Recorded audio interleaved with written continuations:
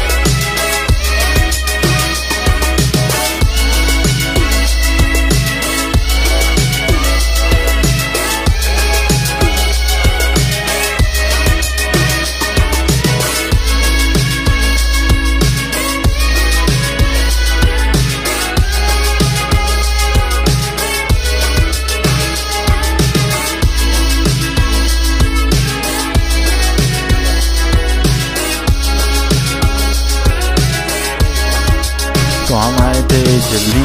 تو جلدی آنے کا یہ فائدہ ہوا کہ ہمیں جگہ بڑی اچھی مل گئی۔ مطلب باہر جگہ مل گئی اور صحیح زبردست ویو بھی تھا ساتھ۔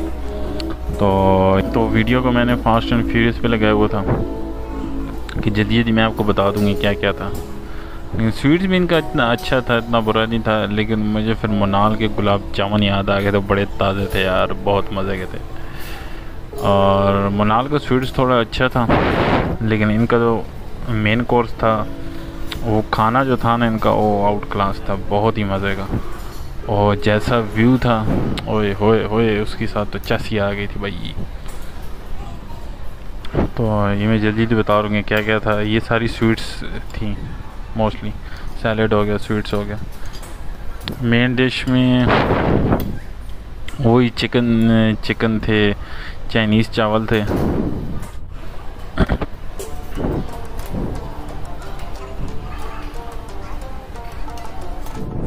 تو یہ میری تھی جی سب سے پہلے پلیٹ۔ آرام سے ہم نے پہلے پلیٹ بنائی، پھر ہم نے ویڈیو بنائی۔